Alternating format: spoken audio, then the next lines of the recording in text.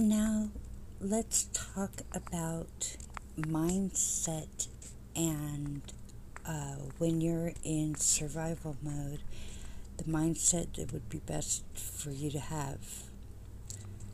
Now, having the right mindset can be essential to staying alive and make it through difficult circumstances.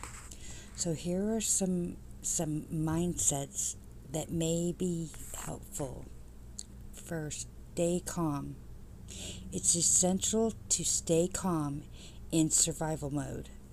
Panic and anxiety can cloud your judgment and make it hard to make sound decisions. Second, be adaptable. Being able to adapt to changing circumstances is crucial in survival mode. Stay open to new ideas and solutions, and be willing to adjust your plans as needed. Third, stay positive. A positive mindset can be a powerful tool in survival mode. Staying hopeful and optimistic can focus on the things you can control rather than what you can't. Fourth, be resourceful. Resourcefulness is key in survival mode. Use what you have at your disposal and think uh, creatively about how to solve problems and overcome obstacles. Fifth, have a sense of purpose. Having a sense of purpose can help to keep you motivated and focused.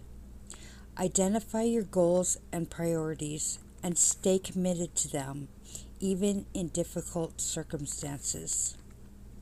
Six, stay patient.